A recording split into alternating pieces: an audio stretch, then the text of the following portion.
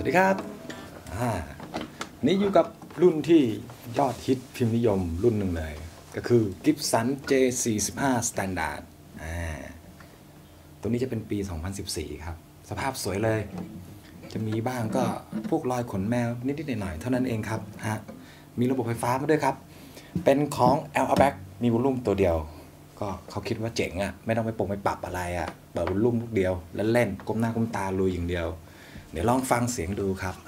ว่า J45 นั้นเสียงจะเป็นอย่างไร